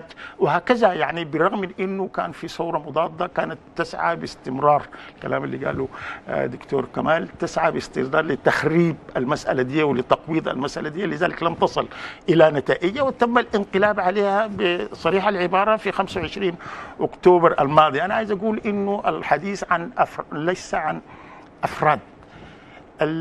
عندما جاء عندما جاء جاءت الإنقاذ ما كان الهدف بتاعهم إحداث التخريب الكبير دي. يعني لما جاءت الإنقاذ سواء كان قياداته لحسن الترابي أو غيره من القيادات بتاع الحركة الإسلامية لم يكن الهدف بتاعهم تخريب الحياة السياسية ولا تخريب المجتمع السوداني ولا تفكيك النسيج بتاعه ولا إشعال حروب ولا تخريب ولا تدمير الاقتصاد. هذه هي السياسات المسمى الشريعة المسمى تطبيق الشريعة بين قوسين. هي اللي أفرزت هذه المسائل. أقول لك أضرب لك مثل. قبل شوية كان في حديث عن الفساد. حديث عن الفساد. أنت عندما تتحدث الوسيلة الأساسية لمحاربة الفساد ليست قطع ايادي الناس. لا. الوسيله الأساسية لمحاربة الفساد هي الحريات الإعلامية هي البرلمان الذي يسائل الناس هي الانتخابات التي تعاقب المسؤولين انتخابات الحرة والنزيهة التي تعاقب المسؤولين بإزاحتهم عن مواقعهم إذا فشلوا إذا فسدوا هي في القضاء المستقل. القضاء المستقل ودي كلها من متعلقات الديمقراطية. يعني المجلس التشريعي المنتخب لماذا لم. لم ينتخب في فترة الحكومة يعني التي تحدثت عنها؟ آه. لماذا لم يعني يتم آه، لأنه في فترة انتقالية. لأن هذه فترة انتقالية. هذه المسائل لا يمكن تتم. كان مطروح. كان مطروح لكن لا يمكن تتم هذه المسائل بين يوم وليلة. انت يعني حجم ال حجم ال حجم التخريب. حددت له مواقيت حجم التخريب. أوكي ده هذه مسألة أنا لا ادافع عنها. يعني أنا بفتكر إنها واحدة من المشكلات أنا بفتكر إنها واحدة من الإشكالات بتاعت الفترة الانتقالية إنه لم يتم التعجيل بتش... بتكوين المجلس التشريعي لكن ده ما كان منتخب أصلا. هو كان حيكون مجلس معين للانتخابات. التحضير لانتخابات حرة ونزيهة يقتضي تدابير كثيرة جدا جدا من عندها من ضمنها إزالة التمكين التمكين يعني ذلك التمكين هو الذي أخر إقامة ال- ال- العدالة الانتقالية ال- المجلس التشريعي آه، البرلمان ال- وغيرها. لا بالتأكيد لعب الدور. بعد تأكيد ال- الثورة المضادة وفي خلال السنتين اللي تحدث عنهم ما كانت يعني انت تحدثت عن محاربة الدين يعني أنا سمعت كلمة الدين انه هي السنتين دي تمت محاربة الدين هذا لم يحصل. دي دي فزاعة كانت أثيرت. هي حديث الطرف الآخر هي ما حد هي يعني آه، okay. على أي حال على أساس إنه الحديث عن محاربة الدين آه، اللي خرج من الثورة. لمحاربة الدين يعني هناك حملات. إنه بالضبط هذه الحملات هي اللي خربت وأعاقت آه، وأعاقت تقدم الفترة الانتقالية وانتهت بصريح العبارة بإنقلاب. الإنقلاب يوم 25 آه، أكتوبر هو كان إكمال إكمال للتخريب اللي بدأ منذ آه، منذ بداية الفترة الانتقالية. لكن أنا عايز أتكلم عن الفساد لأنه الحديث كان عن الفساد. إنه محاربة الفساد وسيلتها هي الحريات. لأنه يعني أنت في الفترات الانتقال الفترات الديمقراطية المحدودة دي لم يكن هناك فساد يذكر؟ طبعا لا يخلو مجتمع أي مجتمع لا يخلو من بعض الفساد. لكن مقارن بما حدث لأنه غابت الحريات الإعلامية غابت الديمقراطية غابت حرية التعبير غابت حرية النشر غاب المجلس ال- المنتخب انتخابا حرا غاب القضاء المستقل. طوال الفترة الانتقالية دي فشهدنا آه، مستويات غير مسبوقة. من الفساد. أنا عايز لكن أكرر النقطة الثانية نعم. إنه ده لم يكن هي لم يكن هدف ولا نية ولا نية الذين قاموا بالانقلاب. يعني لو قريت الوثائق بتاعتهم الهدف بتاعهم 89 89 كان الهدف بتاعهم نهضة السودان وتقدمه إقامة العدل. و... وإقامة العدل ووحدة الوطنية تحقيق الوحدة الوطنية فانظر الحصل شنو نعم. ده نتيجة للسياسات أستاذ. التي سميت نعم الشريعة زكريا وهي ليست نعم من الشريعة وضحت شيء. محمد زكريا الثوره المضاده وفقا لتعبير آه، الأستاذ شمس الدين بانها هي ال- السبب في الانقضاض على الحكومة التي جاءت باسم الديمقراطية عقب ثورة ديسمبر. طيب. ويعني التيارات أسهمت في طيب. تغذية هذا المفهوم. طيب. أنا أنا أنا سأجيب على على هذه الشبهة وهذا الكلام في مسألة دور ال- ال- ال- الثورة المضادة وكذا في إجهاض ال- ال- ال- ال- الفترة الانتقالية أو على الأقل عرقله ال- ال- الفترة الانتقالية حتى الآن. مم. لكن في في في في بعض النقاط لازم أشير لها. برضو. أعلق عليها يعني بقليل من الكلام. أول حاجة تصوير يعني ال- ال- النموذج بتاع ثورة الإنقاذ من الانقلاب. كأنه ما كأنما هو نموذج إنهم أتوا بالديمقراطية أي زول في السودان عارف إنه إنه إنه إنه الإسلاميين بمعنى الكيزان أو الأخوان المسلمون هم انقلبوا على الديمقراطية. ولم يتحملوها انقلبوا عليها وبالتالي هم لا يحسبوا على ديمقراطية ولا يحسبوا حتى على نظام شنو؟ إسلامي على الإطلاق لأنهم رفعوا رفعوا راية راية نظام نحن ظللنا نحن يعني كسلفيين كأنصار سنه ظللنا نعارضهم والشعب السوداني كله وقع في مظالمهم كنتم شركاء في. السلطة هناك نماذج لا هناك. الشراكة في الشراكة في السلطة جاءت بعد العام 2000 بعد العام 2000 دواعي إذا. دوا بعد العام 2000 بعد ما ينشقوا إلى قصر ومنشيه وه وهذا من تيار موجود نحن لم نكن معه م. يعني اي أي زول بيعرف إنه موقف موقف كل قيادي من ثوره الإنقاذ أدى إلى انشقاقات وتصدرات لكنكم لم تحاربوا يعني أنا- أنا- زكريا لم تحاربوا أنا- كالحرب يعني قبل أنا- ان نتجاوز أنا هذه النقطة دي. لا لا- لم يعني لا نتجاوز يعني نقفز. فوق المراحل لكن آه، يعني الطرف الآخر حوربوا لأنه ما دار كانوا من دعاة أنا ما لا. لا نحن حوربنا أكثر منهم يا أخي نحن عندما اعتقل مشايخنا آه في المرخيات في بداية التسعينات ما كانوا ما كانوا ما كان بيعتقل بقية الأحزاب الأخرى نحن عند نحن عندما صودرت مساجدنا وأغلقت ما كان نعودي الآخرون. نحن لما تمت نحن حدث لغاية ما تم التقتيل في داخل يعني مساجدنا من قبل عناصر محسوبة إلى الحركة الإسلامية. ده معروف. وحتى المشاركات اللي جات أخيرة دي جات في إطار صلح جراء شنو؟ جراء هذا الظلم الذي حدث. بعد عام 2000 لما لما ال- ال- المركز العام في السجان جماعة الصلح المحمدية ذهبت لتملأ فراغ الحركة الإسلامية اللي انشطر بخروج الدكتور الترابي نحن كتلة كبيرة رفضنا جماعة الشيخ أبو زيد وكده. فبرضه ده من باب العدل إنه مو طالما أصلا موقف أي قيادي في أي حزب أدى إلى تشرذم الحزب كذلك موقف القيادات الموجودة يوسف الكوده ومحمد أبو زيد أدى إلى تشرذم حقه على الأقل يقال إنه في تيار كبير عريض بقيادة الشيخ أبو زيد لم يشارك شنو؟ في هذا النظام مع الإسلاميين وظل يعارضهم حتى الآن. ده من ناحيه، الناحية العامه يا أخي هذه الثورة ثورة الشعب السوداني. ليست ثورة حزب. حتى هذه الثورة تجاوزت الأحزاب ابتداء. الأحزاب لحقت بها لحوق إذا الشعب السوداني اللي طلع ده صح نحن معه الشباب يشرئب ويتطلع إلى سودان أفضل. سودان فيه حرية سودان فيه يعني حقوق ل- للناس سودان فيه تنمية ورخاء بلد فيه خيرات ده كله هذا متفق عليه. ما في كلام الاختلاف وين؟ لا الاختلاف وين الاختلاف إنه حسب بيقول لك إنه يعني فزاعة الدين وما الدين الناس اللي جو في كلية الحرية والتغيير وتبوأوا المقاعد بتاعت بتاع بتاعت السلطة ما, ما, ما الذي فعلوا؟ هل انبروا للإصلاح الاقتصادي ذهبوا هناك ليصلحوا الاقتصاد؟ هل انبروا للإصلاح بتاعت إنه البلد دي ثرو- ثرواتها تخرج ويستفيدوا منها عشان يعالجوا المشكلة الاقتصادي؟ هل بعدين بعدين الإنقاذ دي هي ما ظلمت كل الناس ظلمت كل شرغبة أهل دارفور شرق السودان ال- ال- في أي منطقة المناصير في أي مكان ما تركت فيه. هل هذا الكلام كان استهدف يعني جهة بعينها ما استهدفت السودانيين كلهم؟ بكافة مستوياتهم. لما إذا الشعب السوداني عانى ويلات جهاز الأمن القمعي. لما كان بيدعو للحريات إنه ما يكون في جهاز أمني قمعي تكميم أفواه الناس وغيره. لكن في النهاية أين ذهب؟ مسؤولو ال- ال- الفترة بتاعت ال- ال- الحكومة بتاعت قوى الحرية والتغيير. ذهبت اولا لتبحث عن تعديل المناهج وأن المناهج كلها حشو. وما وجد آه ال- ال- ال- ال- ال- القراي في الحشو إلا القرآن إلا القرآن الكريم. أول ما استهدف في الحشو القرآن الكريم. اذا هو الذي استعدى آه وناس ما كانوا محسوبين على شنو؟ الإسلاميين. استعدى شعب سوداني ما كان مناصرا لل... لل... وخلاهم ي... كذلك لما جاء يعني وزير العدل نصر الدين ذكر دكتور كمال في معرض كلامه إنه الأديان عالجت أكثر حاجة المشاكل المسائل الاجتماعية، المسائل الاجتماعيه دي الآن أين أين توجد؟ في قانون الأحوال الشخصية المعني بأقرب يعني ال- ال- الناس لحاجياتهم. الوزير ذهب لت- لتعيين لجنة أسرعوا إلى تعديل قانون الأحوال الشخصية. هل كانت قضية الشعب السوداني هي قضية بتاعت صفوف بتاعت بنزين قضية بتاعت أموال منعت قضية بتاعت مرتبات قضية بتاعت ولا كانت القضية قضية بتاعت شنو؟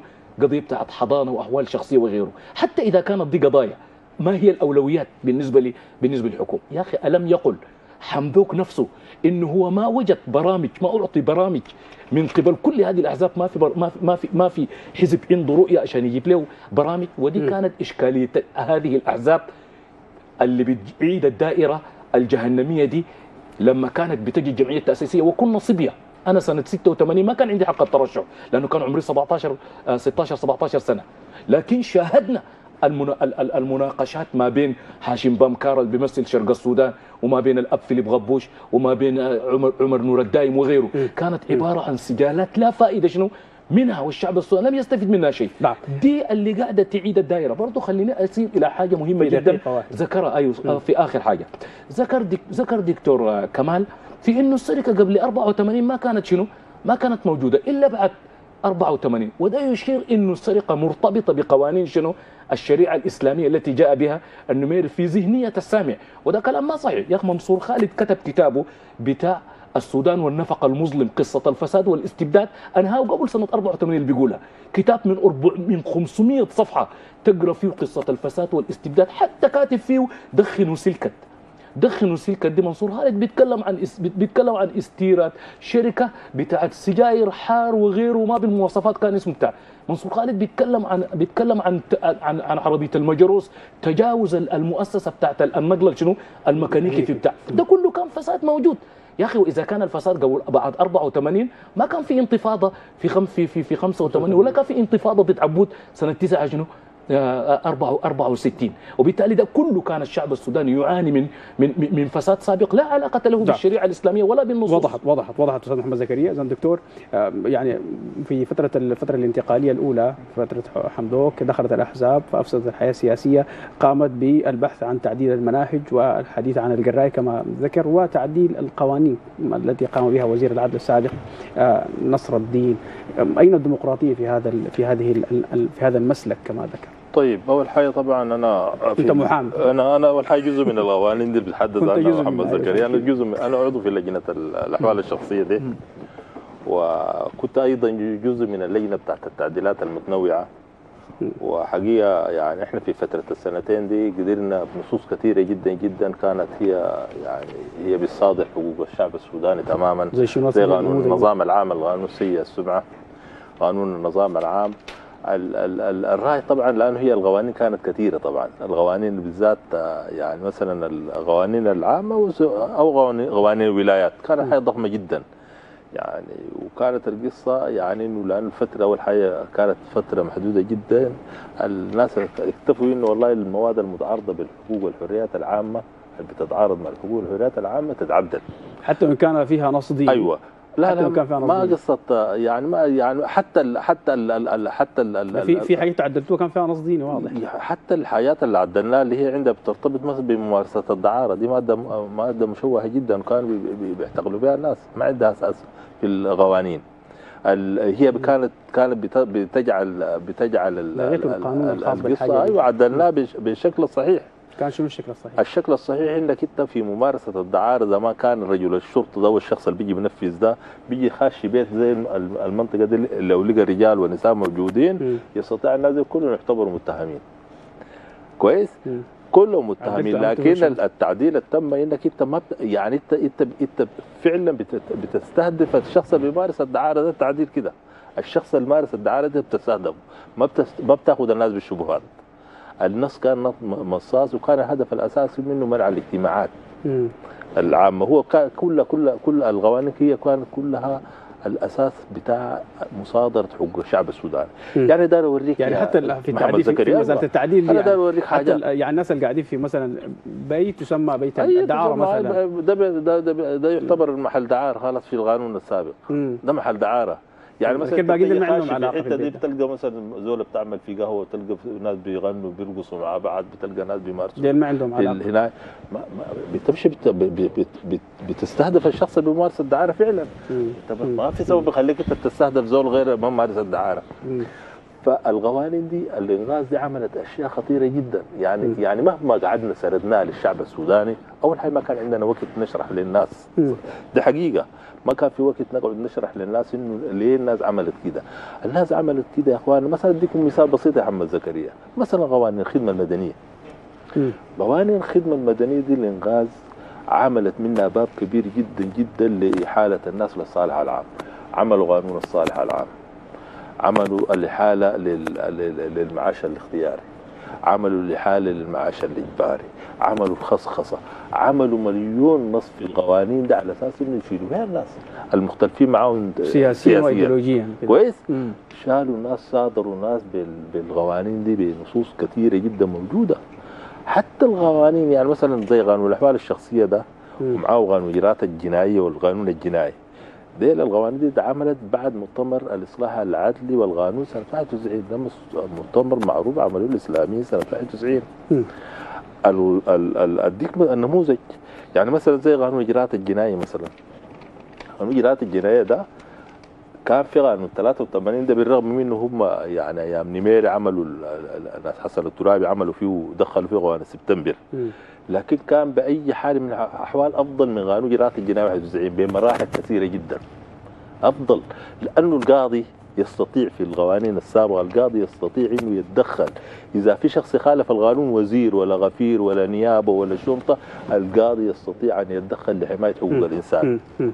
الإنغاز أول أول حاجة شع- شالتها شالت النظة، النظة كان موجود في القوانين السودانية سنة قانون تحقيق جنايات السودان 99 25 74 آه لحد سنة 83 النظه كان موجود نعم كويس؟ جدا يا دكتور الحصل شنو؟ الحصل إنه ناس ديل عدلوا القوانين دي بصورة سيئة جدا جدا لدرجة إنه أنا أنا قدامك ده عثرت على خطاب سري جدا سري للغاية الخطاب ده كان من رئيس القضاء الاسبق جلال مولانا جلال علي اللطفي كان رئيس القضاء في الوقت ده بعد 91 مم. بعد سنة من تطبيق قانون اجراءات الجناية خاطب رئيس الجمهورية بالخطاب ده قال والله بعد مرور عام كامل من تطبيق قانون اجراءات الجناية اتضح إنه هذا القانون غير صالح للتطبيق لا بد من الغائه وإذا لما ما دار تلغي تلغي الواحد المادة واحد 33 مادة تلغي المادة واحد باثنين وثلاثة وأربعة. هل تصدق هذا القانون يحكم السودان حتى الآن؟ هل تصدق الآن هذه القوانين؟ الآن إن عندنا نيابة عامة عندنا سلطة قضائية النيابة العامة تش... جهاز موازي تماما للسلطة القضائية. النيابة العامة الآن هي سلطة مستقله من القضاء النيابة العامة هي سلطة مستقله من السلطة التشريعية النيابة العامة هي سلطة مستقله من السلطة التنفيذية. النيابة العامة تمارس عمل القضاء تماما. بقت عندنا سلطتين قضايات الآن أنت بتقعد في نعم. النيابة دي بمراحل سنتحدث يعني في, في هذا. الأمر بتفصيل إن شاء الله في حلقات قادمات لكن ما يهمنا هنا تعديل ال- القوانين تحدث باشمهندس تحدث الدكتور عن قانون النظام العام عن قوانين حتى وإن كان فيها يعني ورد نص ديني واضح عدلت كيف تنظر إلى هذه التعديلات ولتتماشى مع الأديان المختلفة في السودان دعاة التعديل يعني يقولون أن السودان متعدد الأديان والاعراق والثقافات. كيف تنظر؟ طيب الكلام ده لو ربطناه مع الديمقراطية ويتكلمنا عن إنه لابد من الرجوع للشعب وإلى الآخر. ده المفهوم الديمقراطي كده. الآن نفس اللي الإنقاذ انها بتتم حياكه قوانين في جرح الليل. قاعد يمارسوه الآن آه يعني حك- حكومة قوى الحرية والتغيير في فترتها. الآن هو بيتكلم لك عن قوانين بيتم تعديلها هل في استفتاء حصل لك أنت كسوداني؟ ما حصل. وكثير من الأشياء بالمناسبة. يعني حتى المسألة بتاعت قوانين الأحوال الشخصية الخاصة بالمسلمين. كان بيتم تعديلها وكان في لجنة مخصصة لذلك وكان بيتم تعديلها من غير الرجوع لأي سوداني ولا في استفتاء ولا في غيره. غياب المجلس التشريعي يعني فترة انتقالية بقول لك والله فترة انتقالية يعني. لا فترة انتقالية واحدة من الشروط الموضوعة في الوثيقة الدستورية إنه ما بيتم المساس بالقوانين الموجودة وإنما كانت فترة انتقالية لوقف التدهور الاقتصادي الحاصل في السودان. لكن كان الناس متوافقة على إنه القوانين ما بتمس اللي بيمسها حكومة منتخبة بترجع للشعب السوداني. عشان كده أنا قلت لك الديمقراطية اسم لا حقيقة له. لا يوجد على مر التاريخ تحقق خارجي وجود لوجود الديمقراطية. اسم بس الناس بتقولوا جماهير شعبنا الأبي وكده لكن في في الفعل ال- ال- المشاهد ما بيكون في حاجة زي دي. كذلك اضيف لها التوقيع على اتفاقية السيداو. اللي كان بيدندن حوله وزير العدل الدين عبد الباري؟ هل كان بيرجع للشعب السوداني؟ كان عنده استعداد لو واصل إنه مباشرة يوقع على اتفاقية السيداو من غير أي رجوع. كذلك أيوه التوقيع المبدئي تقريبا. وكذلك ال- ال- ما حصل من آه، الشيء المتعلق بإلغاء إلغاء إلغاء قانون النظام العام. بغض النظر عن القانون وضعه شنو التعديل شنو ال- الموقف منه شنو إلى الآخر لكن الآن عملية وضع قانون إلغاء قانون دي ما عملية بترجع إلى فرد أو ترجع إلى مجموعة من الأشخاص وإنما ترجع للشعب السوداني. ما حصل شيء زي ده. كذلك العملية اللي كان بيتم بي- بيمارسها القراي في ال- التعليم. التعليم عملية شعبوية الناس بتودي اولادها للمدارس عشان يتعلموا الحاجة المتفقين عليها. قام. لوحده بوضع مناهج حتى فيها إشكال فني. خليه من الإشكال الشرعي والصورة اللي فيها سبل الله ولا ال- العرض المسيء للتاريخ الإسلامي في كتاب التاريخ. خليني من دي. حتى فنيا أنا راجعت كتاب اللغة العربية كاملا.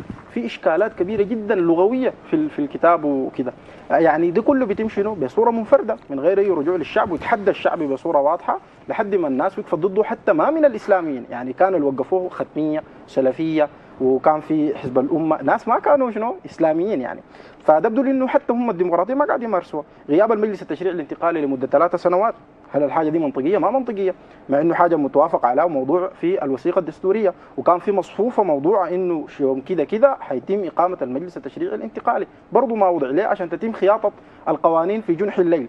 كذلك آه، ما ما بيتكلم عن مسألة محاربة الفساد كان موجود يعني حتى في فترة القوى الحريه والتغيير الفساد كان موجود وإحنا شهدنا يعني منظمات خيرية منظمات كده ما كان عندها لكن شرعيا. مساله القانون الدعارة التي حدث عنها كيف تنظر إليها؟ دي خلاها الأستاذ أحمد نعم. زكريا يتكلم أيوة، عنها أيوة، تفصيلا لكن أنا بتكلم عن الفهم العام آه في إنه كيف متى يشرع والى الآخر الشيء اللي بس دار أعقب عليه برضه ما يتعلق بال إحنا نتكلم عن الديمقراطية في السودان بس. مم. طيب ما مشكلة نرجع للديمقراطية في السودان. مع إنه الديمقراطية في في العالم آه، ذكرنا الأمثلة على تشوهها. طيب نجي في السودان من الدول الديمقراطية دي نفسها. مع إنه أنت ما ممكن تكون ديمقراطي أكثر من أمريكا وبريطانيا يعني الناس اللي انشوها زي ما بيقولوا نفسهم. طيب نجي للسودان. السودان ما كان محتل من بريطانيا. ما كان بريطانيا بتسفك الدماء في الثورة المهدية. ما كان بريطانيا بتمارس أنواع الظلم على ثورة اللواء الأبيض. ما طيب دي دولة ديمقراطية ومارست ضدها أنواع من الظلم وأنواع من الدكتاتوريات ليه أنا ما بذكرها كنموذج من النماذج الفاشلة جدا لل... لل... لل... للديمقراطية؟ طيب كذلك ما يتعلق ب بس تعليق أخير حول ما يتعلق بالوضع الاقتصادي ويتكلم إنه الوضع بقى ماشي كويس وكذا. كيف الكلام ده؟ ما بيدخل في عقل سوداني. يعني لما سقط البشير كان الدولار عامل 90 جنيه والآن لما سقط حمدوك كان الدولار عامل 540 أو 400 وشوية.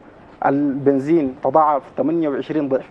أسأل أي سوداني عن فترة آه، البشير وفترة قوى الحرية والتغيير. الكلام ده ما دفاعا عن البشير. أنا عندي اعتراضات وكنا معارضين لها. لكن الفترة بتاعت قوى الحرية والتغيير لا يمكن وصفها بتاتا بأنها أصلحت اقتصاديا. كان فيها فشل كبير جدا في جوانب كثيرة من الجانب الاقتصادي وحسب الحاجة دي المواطن البسيط يعني. نعم في دقيقة. يعني رد على مسألة تعديل القانون. طيب أنا أول حاجة في في المسألة بتاعت ال- ال- ال- ال- القوانين ونحن كمحامين أصلا بنتفق في إنه في في في في, في, في الإطار العملي في قوانين مشوهة وفي قوانين أصلا نصوص. يعني تمت الإساءة إليه في نصوص فضفاضة مثلا المادة 152 مثلا من ال- من القانون ال- من القانون الجنائي بتاع شنو؟ بتاع الأفعال الفاضحة مثلا م. الأفعال الفاضحة الزي ال- أيوه الزي, الزي الفاضح الفاضح. الزي الفاضحة والكده ده ده قانون على هوى بتاع الشرطة بيفسروا زي ما دايروا وهنا في الإطار العملي أصلا في يعني اشكاليه كان هناك لديهم حق في في تعديل هذه متفق لا. متفق. متفق بين كل قانوني في في في, في الإطار. يعني أنا مرات أجي ماري بمحكمة النظام العام ألقى مثلا كمية بتاعت 100 امرأة يجيبوها في محكمة نيالة أسألهم أقول لهم أنتوا جايبينكم ليش تقول لي أنا لأنه ما ما كنت لابسة شرابات وما كنت كده أنا قدام القاضي بيقول لا يا أخي هي زوجة القاضي جات امبارح ماشية بهنا متحننة وراسمة وبتاع سايقة في عربيته ما كانت لابسة شرابات. فالقاعدة القانونية قاعدة عامة قاعدة مجردة. توضع للعامه ما بتوضع لشنو؟ لأشخاص معينين دي واحدة من. من الإشكالات لكن إحنا إشكاليتنا في إنه لماذا هذه الإشكاليات تنسب إلى الإسلام الإشكاليات دي ما تنسب إلى أشخاص مثل أي شخص آخر يقيم قوانين شنو؟ قوانين خاطئة كده، أنا داير أقول الأستاذ ده بدأ أستاذ شمس الدين الديمقراطية في الميزان، هل مشكلة الديمقراطية في السودان بالأمس؟ هل مع الإسلاميين؟ لما كتب محمد أحمد محجوب كتابه الديمقراطية في الميزان ده، ألم ينع الإشكال الخلاف الذي بينه وبين الإمام الصادق المهدي في الستينات؟ يعني إشكاليتنا في الديمقراطية ما موروثة، أحزابنا الآن هل هي أحزاب تمارس ديمقراطيه يا جماعة؟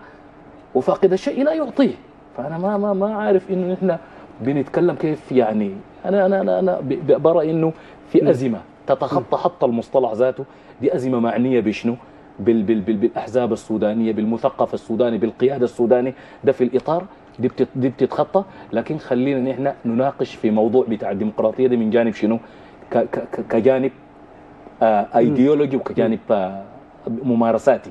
بس أنا سؤالي المهم الكبير إنه هل يقبل كل دعاة الديمقراطية الديمقراطية. إذا أفضت إلى نتائج إنه الإسلام يجي على سدة الحكم نعم، مباشرة سيجيب عن هذا السؤال الأستاذ شمس الدين في في في دقائق لأنه اقترب الزمن- من النهاية. إذا أفضت النتائج إذا- إذا أفضت النتائج السنة بدون- نجي نبقى نمثل إذا صار الشعب السنة. أو أو ناس دعاة الإسلام وتطبيق الشريعة الإسلامية إذا جاءوا عبر صناديق اختراع عبر عملية ديمقراطية هل ستوافقون عليهم؟ أم أن هناك تحفظات على أصل الدين يعني. يعني شوف ال ال انت عشان تقيم نظام ديمقراطي آه، يجب أن يعني ترتب لهذه المسألة. ما انت السعودية إذا كان إحنا دايرين نتكلم عن الخارج حركة أردوغان حركة أردوغان في تركيا هي حركة إسلامية لكنها موجودة في دولة ديمقراطية موجودة في دولة ديمقراطية البناء بتاعها أصلا ديمقراطي قائم على الحريات قائم على الدستور. قائم على المواطنة المتساوية. أوكي؟ قائم على حرية النشر قائم يعني كل المؤسسات بتاع قائم على الانتخابات الحرة النزيهة. ففي حالة وجود يعني يعني تجمعات أو أحزاب إسلامية آه، بالشكل اللي اللي اللي تمارس به تمارسه حزب العدالة والتنمية في في تركيا. فالذي يمنع لن لا على الإطلاق مباشرة يعني ونست- يعني الأمر لا يتعلق بالعداء ضد الدين الإسلامي لا على الإطلاق لم يكن في أي لحظة من هذه اللحظات العداء لمشروع أساسا يصادر الديمقراطيات لأنه لا يؤمن بالمواطنة المتساوية. لا يؤمن. يعني الحديث آه، الذي تحدث عنه الضيف الكريم الأستاذ محمد خلف الله عن أنه العدالة والمساواة. الحديث ده الحديث ده خطير جدا جدا. لأنه يعني لما نتحدث أنه الإسلام فيه عدل لكن ما فيه مساواة. ها؟ هذه مسألة خطيرة جدا لأنه الإسلام في الأساس لما نتحدث عن ال- الكرامة اللي ولد الناس آه، يعني بحديث الكرامة دي هو حديث للمساواة بين الناس. والدكتور كمال تحدث عن دولة المدينة يعني حتى في دولة المدينة الحقوق والواجبات لم تكن على أساس العقيدة. هنا الحديث في ال ال ال يعني ال- الحركات السلفية والحركات الإسلامية الموجودة هنا ال- ال- الحقوق والواجبات تقوم على العقيدة وهذا ما يتناقض ويتعارض مع الديمقراطية أساسا ويتعارض مع العدالة ويتعارض مع المبادئ الكلية للإسلام. فحالة إنه تكون لدينا يعني مؤسسة ليكون لدينا دولة ديمقراطية. يعني بحقوق المواطن المتساوية بالحريات مكفولة للجميع بالحريات النشر للجميع هذه في إذا بعد يد أي جهة. يمكن أن تأتي ولها حق كل الحق ولها كل لا الاحترام. وضحت يا باشمهندس محمد محمد خلف الله. فرصتك. حنجيك لفرصتك ما في مشكلة حتى لا لا يضيع السؤال. بأن الحركات ال- ال- السلفية والإسلامية وغيرها والتي تنتسب إلى الإسلام يعني الحقوق والواجبات فقط تقوم على العقيدة. هو يتحدث عن أن للمسلم فقط دون النظر إلى حقوق لا، ده كلام- البقية. لا هذا كلام ما صحيح. يعني لو رجعت لتاريخ السياسة الشرعية ابن القيم رحمه الله عنده كتاب كامل اسمه أحكام أهل الذمة بيتحدث فيه عن آه، علاقة المسلمين مع غير المسلمين في آه، الدولة الإسلامية.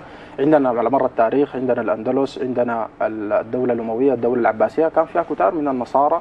ودولة المدينة بتاعت النبي صلى الله عليه وسلم كان فيها يهود يهود بني قريظة يهود بني قينقاع يهود بني النضير. وكان بيناتهم في ميثاق مع النبي صلى الله عليه وسلم وعندهم حقوق وعندهم واجبات. بس إضافة لنقطة العدل والمساواة أنا قلت القيمة المطلقة في السودان في, في الإسلام هي العدل.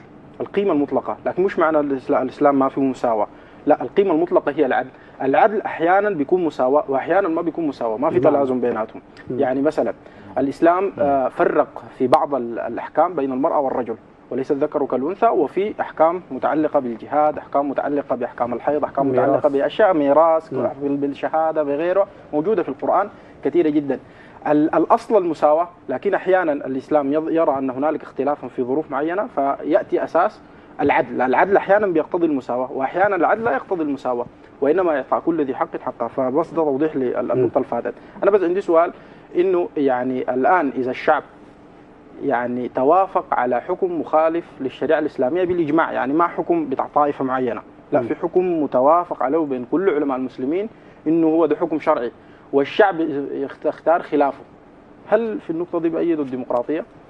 يعني هل بأيدوا الديمقراطية؟ والديمقراطية إذا أنتجت ديكتاتورية زي الديمقراطية اللي جات بهتلر والجات بموسوليني هل تؤيد في اللحظة دي؟ لا دكتور كمان تجيب عن هذا طيب السؤال. آه، أنا قبل ما أجاوب على السؤال ده أول حاجة دار أقول لك حاجة يا باشمهندس فيما يتعلق ب هل أنتم عندكم الشرعية تعدلوا القوانين؟ إحنا عندنا الشرعية الثورية.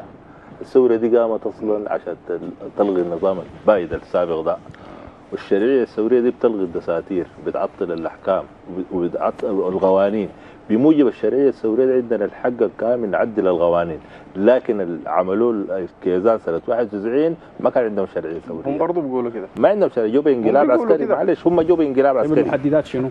هم. جو بانقلاب عسكري بيقولوا أن بالمناسبة. إحنا جينا بثوره شعبية ثورة كامله شعبيه شعبيه ده انقلاب معروف انقلاب 89 انقلاب قام به عمر حسن أحمد البشير سنة 89 و- والناس معروفين وزاع البيان بتاعه لكن دي ثورة شعبية حاصرت القيادة العامة وطلعت كانت شعاراتها معروفة ودي طلبات الشارع. لا هل الشارع أيوه لك يا. دكتور أيوه هي القوانين؟ دي- أيوه. أستاذ كمال ما شوف لا اتاح لك انت معلش نتحدث عن الحرية الشرعية والسلام والعدالة حرية، لا الشعب شعب، أنا عدالة. بتكلم منه دكتور كمال؟ يغير عدالة. القانون الفلاني. أيوه أيوه. طيب أنا من الشعب ما رجعت لي؟ دكتور ما هي كمال. دي شع- الشعب هو الشعب ده بيديك الحق ده الشعب ده بيدي الثورة الشعب دكتور- الثورة بتقوم دي الثورة هو الشعبية سؤال عمن. الذي فوض دكتور كمال الشعب- بتعديل القوانين. هل خرج لا هل خرج ما- الشارع مطالبا بتعديل القوانين بتعديل المناهج؟ بتعديل كل ما انتج النظام لا، لا، أي لا. حاجة طيب، طلبات. أيوه. أنت طبعا. بالنظام طيب، السابق. ما الثوره وأنا قايم بثورة اشمعنى طيب، وكنت أنا داير أخلي قوانين قوانين الغاز قاعدة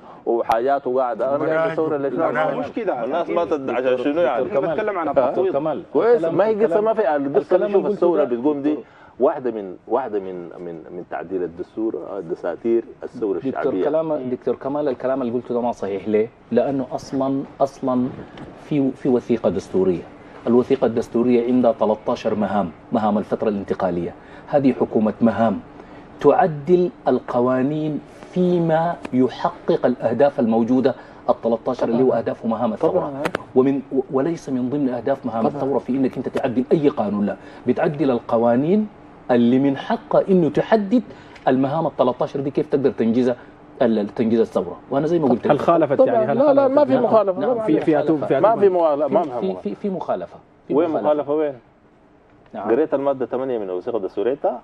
مادة 8 المادة 8 من الدستورية شنو؟ بتدي الحكومة حكومة الف- الفترة الانتقال الحق في في إصدار قوانين بتتعلق بالخدمه المدنية وبتتعلق بحقوق الإنسان وتتعلق بالغذاء كله. دي, دي المهام موجودة. دي, دي المهام. طيب دي ما كلها مرتبطة وأنا بقول لك في؟ قانون أنت قبل قلت تلغي كل القوانين في قانون موجود قانون العام 2003 وقانون الصحافه والمطبوعات قائم إلى حتى هذه اللحظة ولم يعدل من القوانين التي لم تعدل في عهد فيه اتعدلت فيه أنا ما قلت لك لم يتم تعديله. معلش هو ما تعدل هي ما في قانون اتعدل القوانين اتعدلت مواد. يعني قانون الحريات الأساسي الحاجات الرئيسية اللي هي 2003 قامت على الثورة اللي هي سموه قانون التعديلات المتنوعة اللي هو كان شامل قانون الصحافة والمطبوعات وشامل قانون الجناية وقانون اجراءات الجناية وقانون اجراءات المدنية. قوانين كثيرة جدا متعلقة فيها المسائل دي كلها متعلقة بالحريات العامة تم تمت معالجتها. كويس؟ دي حاجات أساسية ضد من ضمن مهام الحكومة الانتقالية ومن ضمن مهام الشعب السوداني. لكن أنا بتكلم لك إنه الإنغاز لما هي ما جات بثوره الإنغاز جات بانقلاب عسكري. قام به عمر حسن احمد 89 سنة 91 عملوا مؤتمر الانغاز هو عمل به قوانين الاحوال الشخصية في الدافع هو عنه الشرعيه الثورية اللي بتقول دي هم. برضه بيقولوها. ما في ثورية كلامي هم قام محمد. هم ما دي- محمد. ده ما ما ما تبغى مولانا هم الوثيقة- نميري زمان قالوا قمت بثوره الوثيقه ما الدستوريه هي. نفسها ما يقدر بيقول ما أنا فكر- كلامي لك انه ده كلام الثورة بيقولوا الثورات اللي قامت في السودان معروفه ثورة أكتوبر. معاك أنا وثورة ابريل وثورة. ديسمبر. أنا ثلاثة ثورات في تاريخ السودان. ده. أنا دكتور كلامي لك إنه أي زول. في تتفق معي بثلاثة ثورات؟ بيجي بيقول لك يا أخي آه أنا ما عندي تفويض شعبي يا مولانا. لكن أنا عندي والله أنت بتتفق معي إن. السودان ده قامت أي ثورات أنا ثورة دي. أكتوبر لكن أنا كلامي يا دكتور عشان طيب. تفهم نقطتي آه. نقطة الشرعية الثورية دي أي زول ممكن يدعيها لا هل مفهوم الشرعية عندها معايير. عندها معايير ما عندها معايير طيب تجمع المهنيين فيه قسمين قوى الحرية والتغيير برضه منقسم لقسمين أي زول بيدعي الثورية؟ لا. الآن الشباب اللي في الشارع ديل بيطلعوا ما مظاهرات في يا انت مولانا تطلع لك مولانا. دي ثورة. أنا انت لو اتهمتني انت بزول لكن فكرة الشرعية الثورية. فكرة الشرعية الثورية دكتور، انت الناس دكتور. بيتكلم عنها. دكتور، لا ما صحيح. الشرعية الثورية صحيح. الديمقراطية. بمعنى الشرعيه الشرعية الثورية. نعم. يعني الديمقراطية هي حكم الشعب. نعم. آه، الآن مجموعة لجنة معينه لجنة معينة. الشارع طيب. الشارع منو اللي قال إنه رأي؟ الشارع بيجي كيف؟ الشارع ده التعليم- يلغى عبر مثلا. عبر أنا داير أعرف الاليه اللي عرفتها إنه الشارع ده قال التعليم يكون بالطريقة دي كده زي ما قال القراي. دي دي عرفناها كيف نحن. بس. دارت مراجع الديمقراطية للغاية باب الانتخابات، باب شباب. من الثورة كانوا ضد يعني يعني أنا أنا أجيب لي هنا من الصباح أنت تجي داخل البنك بتلقى النسوان قاعدات تجيب تقرا في- الصندوق في الصندوق المصحف صندوق الانتخابات. ده نفس الكلام الصباح. بيقولوا هنا في النهاية في هناك كمان ده قالوا ده ما قريت المصحف ده لا الديمقراطيه صندوق يا, يا دكتور كمال أنت. أنت أعلم آه. بذلك مني. يعني ال- ال- ال- الديمقراطيه تقوم آه. على اي اي لا- أي. فعل قانوني أو أي فعل تشريعي يقوم على صندوق الانتخابات. يعني أنت الآن تناقض مولانا الحديث. لا لا لا. أنا يعني هناك- هناك لك خارج- خارج إطار الثورة الثورة الشعبية. واحدة من وسائل تعديل الدساتير وإلغاء الدساتير الثورات الشعبية. الثورة الشعبية أو ال- الإرادة الشعبية دي إرادة نافذه زيه وزي الانتخابات. واحد. لا كلمة أخيرة أستاذ شمس الدين انتهى الزمن. كلمة يعني أنا. أنا- يعني أنا يعني أركز أنا عايز أركز على إنه الديمقراطية هي قيم ومؤسسات نعم. وإنه هذه القيم والمؤسسات لا تتعارض مطلقا مع المبادئ الكلية للإسلام مع نعم، جميل. المبادئ الكلية نعم للإسلام. وضع محمد أقول زكريا في أن الديمقراطية إذا قصد بها إذا قصد بها آلية من الآليات والوسيلة وتعني اللجوء إلى صناديق الاقتراع للانتخاب لانتخاب. من يحكم الناس أو من يمثلهم فلا تعارض هنا مع الإسلام. كوسيلة من الوسائل والإسلام لا يتعارض مع أي وسيلة يعني تأتي من الخارج ما لم تعارض الشريعة. لكن في شقها الثاني بمعنى السيادة للشعب والسلطة للشعب وأن الشعب يستطيع أن يضع من القوانين حتى إذا عارضت نصوصا شرعية فإن هذا هو يتعارض مع دين الإسلام ولا يمكن أن يقره دين الإسلام لا باشمهندس أنا بقول الديمقراطية إذا عرفت بالكرامة وبالعدل وبالمفاهيم العامة دي فعندنا سؤال هل المفاهيم دي هي موجودة في الإسلام ولا لا؟ إذا موجودة فما الداعي للديمقراطية؟ لا ما في داعي نعم شكرا جزيلا ضيوفي الكرام الباشمهندس محمد خلف الله الأستاذ محمد زكريا الأستاذ شمس الدين ضوى البيت الدكتور كمال الأمين المحامي. أشكركم جزيل الشكر على هذا الحديث حول مفهوم الديمقراطية وإلى نلتقي في مساحة قادمة. تقبلوا تحياتي إلى اللقاء.